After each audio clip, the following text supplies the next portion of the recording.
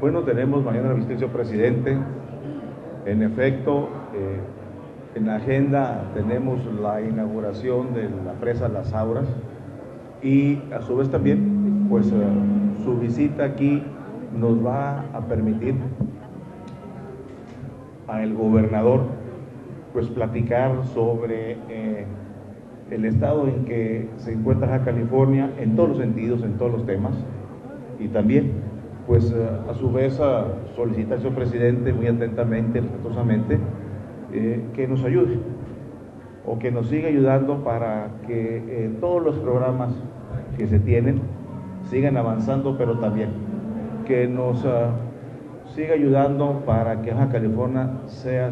siga siendo un estado con la competitividad que requerimos sobre todo para generar empleo. Como ustedes saben, ese es un gran reto, es un gran reto a nivel nacional, la generación del propio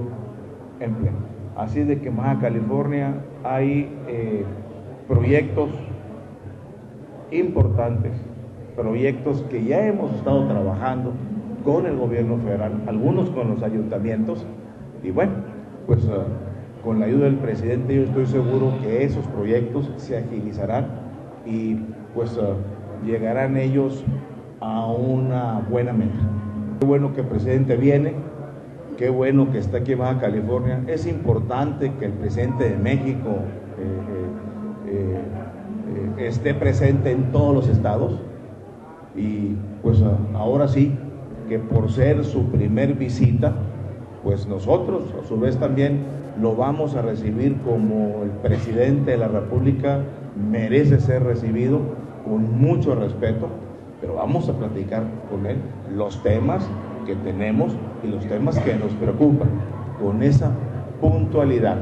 Como gobernador espero sacarle el mejor provecho posible a la presencia del presidente Peña Nieto aquí en suelo California tiene que eh, haber un programa especial para el tema de migrantes que son repatriados a Tijuana todos los días y que requieren servicios de salud, servicios de vivienda y más cuando se traen a sus familias servicios de educación. Y es una gran carga para el municipio y para el Estado.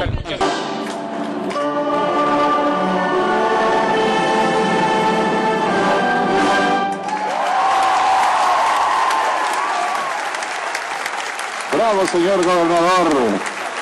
Habemos director.